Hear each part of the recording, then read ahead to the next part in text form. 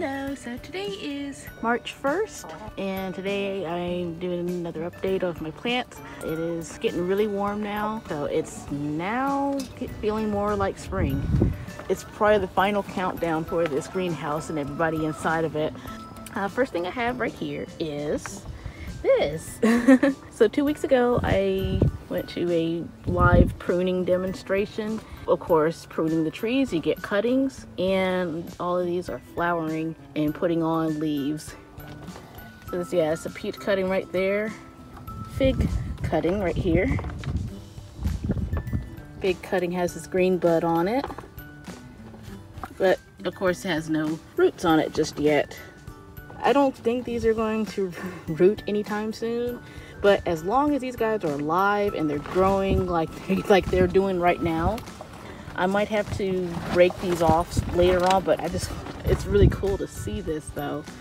Uh, this whole area right here, right there, down here, is my new seed station. Uh, so right here are white sapotes. It's white sapotes, large, and that is, yeah, well over a month ago. So, uh, a month and a week, roughly. And these started coming up, I think two weeks ago or last week. Here's another one. Had mishap with my phone recently, so I don't think it's focusing very well, like as it did if it focused good anyway in, in the past. But um, yeah, there's two right here.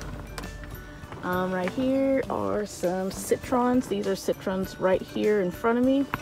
Yeah, more of these are popping up. I believe right here is fire lemon.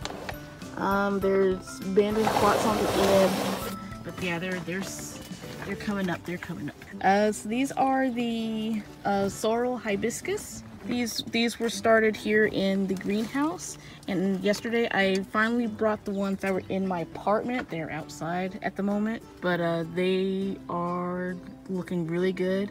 Um, they're already doing uh, multiple sets of leaves because I think last week they started to get another uh, branch coming out. I have these, these are some citrons. I think it's been a month, over a month now. So citrons, yeah, over a month. Here are the most of the one-year-old uh, cherimoyas. These these tall ones right here are the, are the one-year-olds. And they're, they they love it in here. They're getting too tall for this over here. And then these smaller ones right there, those are from this past summer. These are a little bit younger. These definitely, these two are the uh, one-year-olds. one-year-old cherimoyas. So here's the other one. See how big that it has gotten already.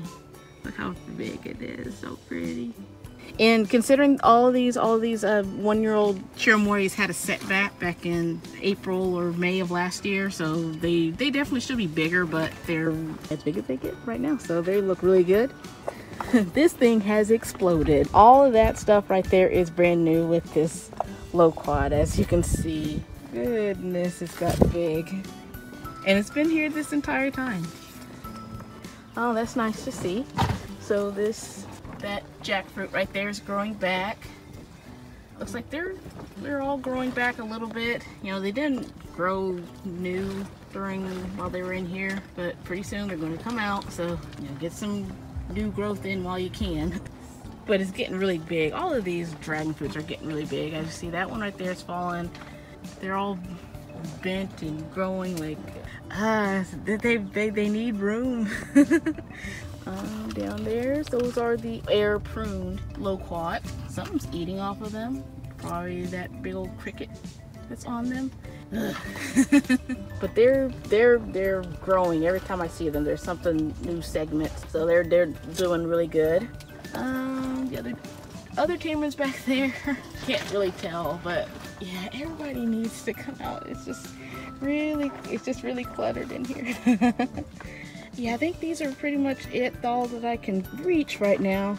Uh, this spring like weather's coming everybody's growing everybody's growing awesome. It's, it's getting to the point where it's a little becoming a little bit dangerous in here. So I'll be checking the weather checking all these plants making sure that they're not going to be zapped or fried or anything like that. I'm going to keep this vented make sure everybody's safe happy and, and growing